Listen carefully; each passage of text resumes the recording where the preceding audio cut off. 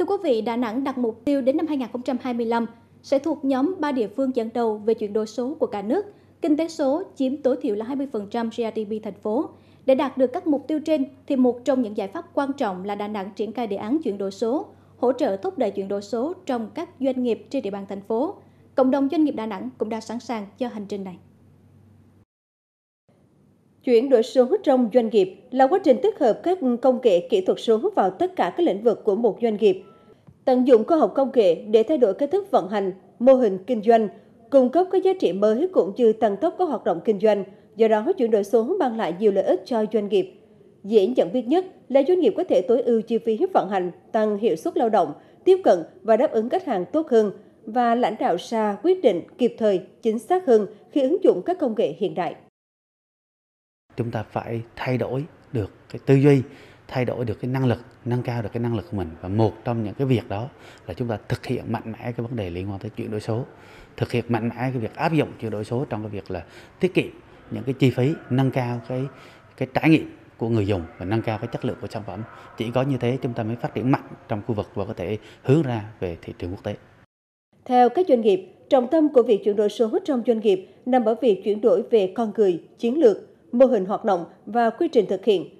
Trong đó không thể không có yếu tố công nghệ, bởi đây là nguồn khởi phát mọi sự thay đổi và đổi mới.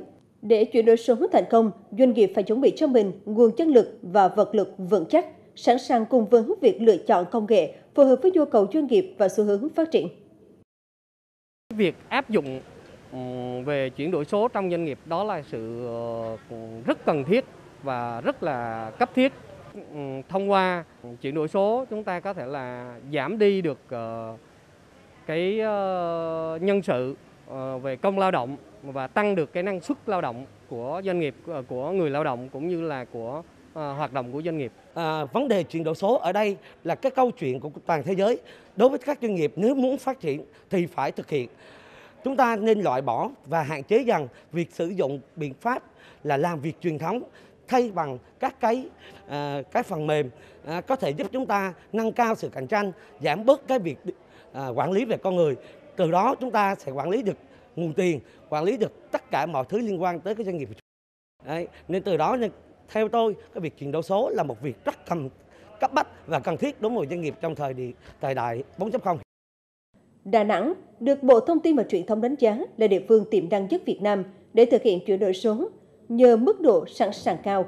Tuy nhiên, nhiều chuyên gia cho rằng muốn triển khai hiệu quả, cần nguồn dữ liệu chuẩn. Tuy nhiên, khó khăn hiện nay là cơ sở dữ liệu quốc gia vẫn chưa được xây dựng. Đà Nẵng cũng cần hỗ trợ kinh phí xây dựng nhóm doanh nghiệp chủ lực về chuyển đổi số.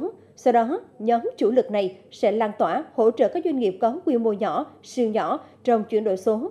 Do vậy, cùng với nỗ lực của doanh nghiệp, cần có sự đầu tư, hỗ trợ đúng mức từ trung ương và chính quyền thành phố.